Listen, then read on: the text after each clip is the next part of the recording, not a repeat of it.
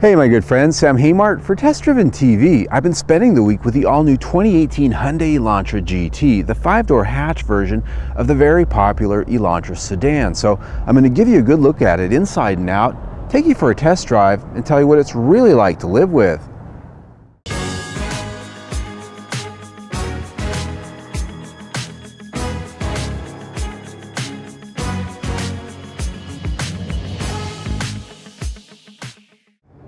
As we talk about styling, you'll see right there in the face that this has the latest design DNA from Hyundai, the latest version of what they call fluidic sculpture design. And that's most evident in the grille where we've got some intricate detail there, but it has a little bit more of an hourglass shape as you can see, not quite as straight edged as the Hyundai grills of before. Now because we're on the base model GT, we've got projector beam headlights, but down below that you will see LED daytime running lights which light up pretty bright during the daytime and give this car a nice signature. Also in the front fascia you'll notice some vents there on the outboard corners and that's for the air curtains.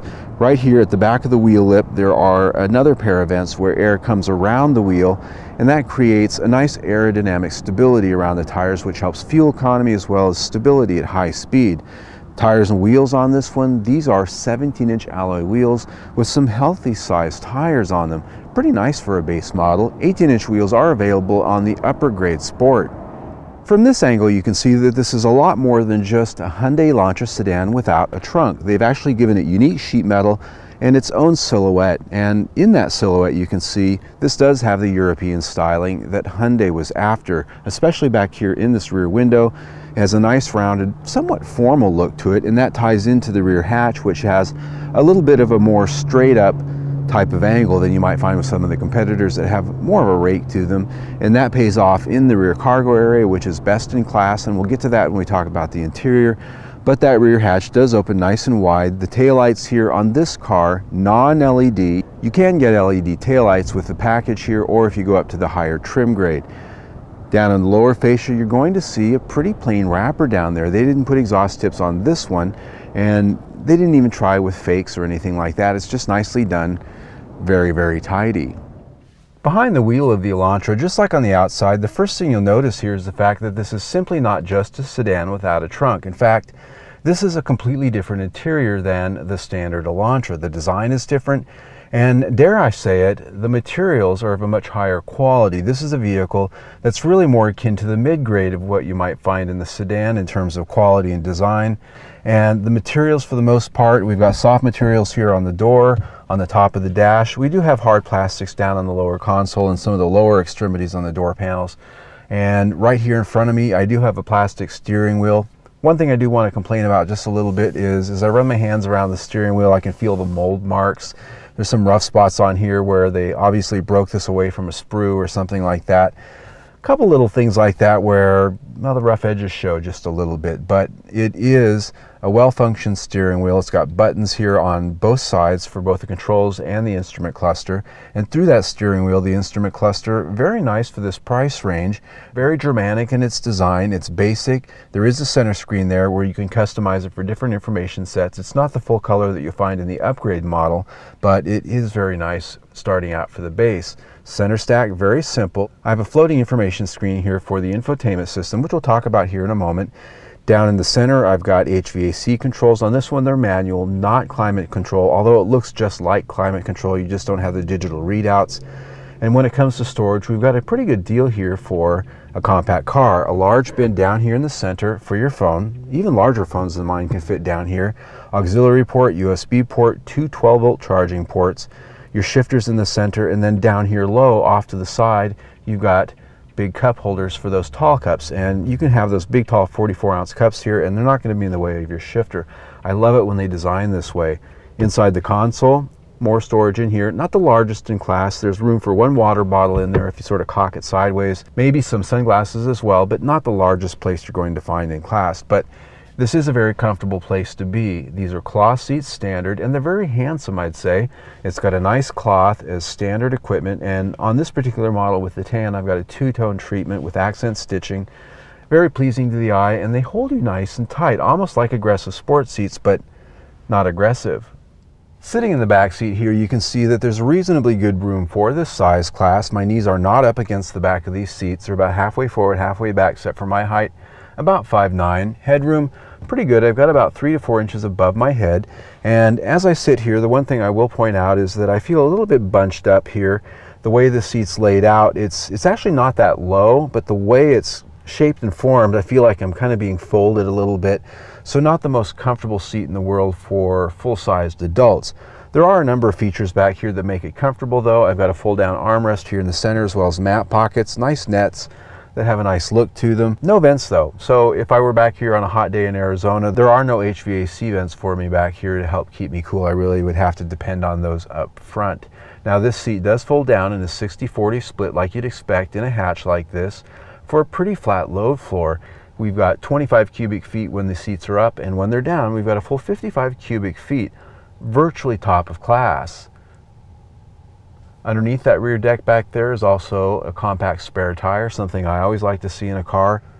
When it comes to rating this interior, overall it's very well executed. It's got a nice look and feel to it. I love these cloth seats very comfortable for the front seat passengers and the materials for the most part are quite good switchgear very good storage could be a little bit better and the material quality while it is good for the most part we do lose a star because of that steering wheel feeling the mold marks on the back of it so this interior gets four out of five stars when it comes to the infotainment system, Hyundai's really done something special here in my opinion. They've given us a large 8-inch touchscreen as standard, and it's fully featured as well. It's got AM, FM, Sirius XM satellite radio, Bluetooth of course, and it also has Apple CarPlay and Android Auto. And this is all in the standard base model. A lot of cars in this class at this price don't offer this. In fact, some don't offer it at any price. And so that's a pretty good level of standard equipment to start out with. The graphics are very good and it's easy to use because there's hard controls on both sides for a lot of the common use functions as well as volume and tuning. My pet peeve, I'm glad they're there because some of the competitors out there they don't have that and it makes it very difficult if not frustrating to use these things on a daily basis. Now is it perfect? No. One of the things it does do is every time you start the car it starts with a home screen which if you like to have your radio presets the first thing you see you always have to go page to that. It doesn't leave it where you last left it when you turn the car off and that's something that a lot of the car makers are starting to do now they create this new home screen just like when you log on to windows and i hate it i hate it but outside that one complaint, this is a very good system, especially considering that it's the standard base system in this car. Very, very good. In fact, I'd say probably best in class as the base audio and infotainment system. It gets 5 out of 5 stars. The base engine we get here in the United States for the Hyundai Elantra GT is the 2-liter 4-cylinder with direct injection. Here in my tester it's made it to a 6-speed automatic transmission, but you can get a manual, still available. In this particular car with this transmission, however, it's rated by the EPA at 24 mpg city, 32 mpg highway, and 27 mpg combined. So the question I always ask when I start these things out is, how does it go? Woo, a little bit of wheel spin there. And we're revving all the way to 6,500, up and 60. Almost missed it. And now 80 Woo! curve coming up, slows down, hits those brakes. So this thing's actually got pretty remarkable power for a base model. 161 horsepower doesn't sound like a lot, but you get in a car that doesn't weigh a lot, doesn't have a lot of stuff in it, works pretty well, I think. And the best part about this is it's got a nice sound and a nice refinement to it. Even better is the fact that it's got a real transmission. You can get a six-speed manual here or a six-speed automatic. They don't stick you with a CVT like some of the competitors do, which is a wonderful thing if you really enjoy getting out and driving. And, and that's really what this car does well, especially on sport mode. Hammer down, this thing just goes. So I'm very happy with this powertrain and fuel economy, 90. Let me slow down a little bit here. Fuel economy rated at 27 mpg. I actually got 30 for the week, in spite of the fact that I'm driving like an ass here. Um, very, very impressed with this powertrain. Very good for the money. Really, it would be good up for another up close to $30,000. Very impressed. Five out of five stars. When it comes to ride and handling, what they've done here to start with is a tighter, stiffer body structure, now using 53% high strength steel. This body is actually 22% stiffer than the one it replaces and actually about 60 pounds lighter. And what that does when you start bolting tires and wheels and suspension to it is give you a bit of a tighter feel overall, and that's definitely what I'm noticing here. Out here on this desert highway, not the smoothest pavement in the world, and so a lot of bumps gives me a good idea of how well sorted and tuned it is. And what I'm finding here is that using the drive modes and adjusting the steering feel does give you a little bit of a variety, but one of the things I would point out is that the steering does have sort of a lifeless feel to it, very typical of electric power steering out there. Tight though, nonetheless. This does have a little bit of a heavy feel that is typical of Korean cars. And the one thing I'd point out here is that the rear suspension on this particular model is the low budget torsion beam variety. If you want a multi-link that's a little bit more sophisticated and has a little bit more finesse on bumpy curves, you'd have to step up to the Sport with the turbocharger to get that. But here, we have the torsion beam rear axle, which on a bumpy curve is somewhat like wearing combat boots to the dance. So chassis here gets 4 out of 5 stars. Quality is a very important topic to me. I really go over these cars with a fine tooth comb, looking at the body panel fit and alignment, the paint finish, the materials, does it rattle and squeak? What do the doors sound like when you slam them? Very important things to me. I'm a little bit OCD on this kind of stuff.